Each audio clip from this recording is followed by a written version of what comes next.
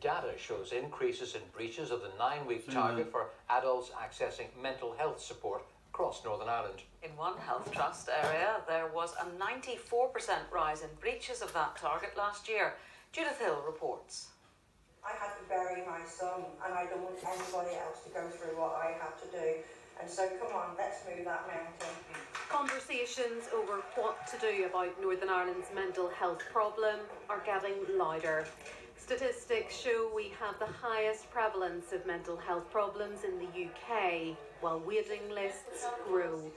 Deirdre McCausland knows what it's like to wait.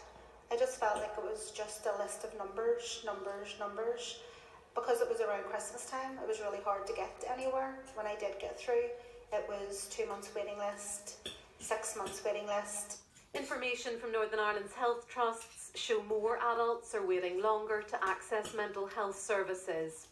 In the Belfast Trust between January and September last year, there was a 42% rise in the number of times the nine week target was breached.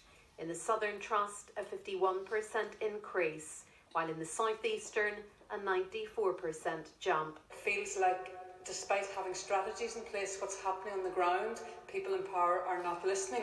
So we can't keep fixing bits, bits of a system that isn't really fit for purpose. Our mental health strategy is an overhaul of mental health services, and it's really, really strong. But, but you know, I'm very, very keen to hear the, the critiques of that, and we, we're still working to get all of the aspects of that right. So um, I'd be keen to engage with that group again, just to understand what it is about the, the current plan for mental health services that, that, that they disagree with.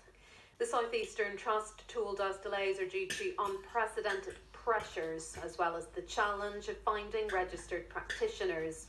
They apologise to those experiencing waits, as do the Belfast Trust, who say the rise in the number waiting more than nine weeks is not reflective of the percentage of the actual number of referrals they receive. Needs phenomenal, so it is. You have the emerging uh, cost of living crisis, so you have um, we have all the serious mental health issues that people are facing emerging from COVID as well. And the biggest issue facing most community-based counselling organisations is the lack of funding. So while the conversations go on, all agree the need is great and getting timely help a lifesaver.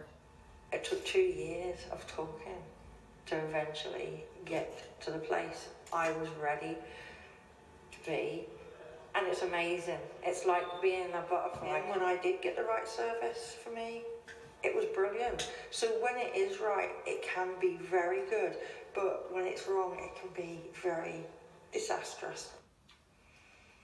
Rugby now.